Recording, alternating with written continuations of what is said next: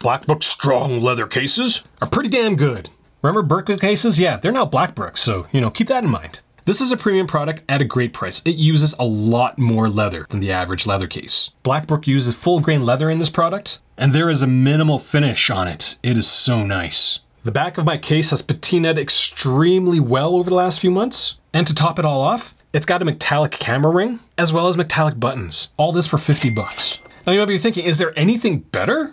I bought 14 leather cases about six months ago and I ranked them all, so check out that video in my profile. Make sure you hit the subscribe button if you want to see more unsponsored views. So how does Blackbrook use 40% more leather for this product? iPhone sizes don't change, right? The inside of the case is covered with the same leather. Is that overkill? I don't think so. Everybody else uses microfiber. But honestly, every single time I pull my iPhone out of this case and I look at the back and I'm just like, damn, this is awesome.